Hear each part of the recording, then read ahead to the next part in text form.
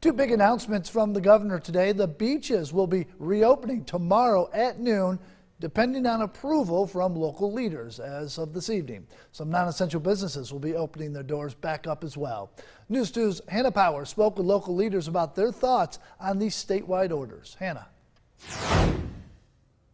Brendan, the governor says that he wants a head start on getting things back up and running, but some local leaders worry it's all happening too fast would like to see us having this conversation next Monday.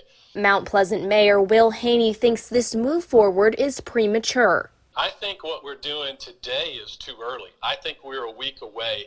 If you watch the um, press conference, DHEC said that um, the national guideline is you need 14 days of a plateau or reduced increase in cases. State health officials say the numbers have only been leveling out the last few days. But Governor McMaster has a vision of being first. We have to be able to accelerate as fast as we can and as safely as we can with the health of the people when that green light goes on. I don't mind the governor wanting to be the first with a big plan and to be at the starting line, but the worst thing we can do is have a false start.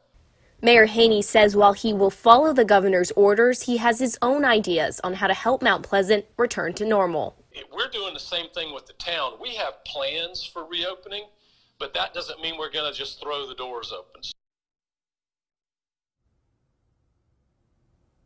The governor says that he is putting together a program with leaders from across the state to identify ways to make sure South Carolina is the first state up and running after this pandemic. Reporting live in Mount Pleasant, I'm Hanna Powers. Count on two.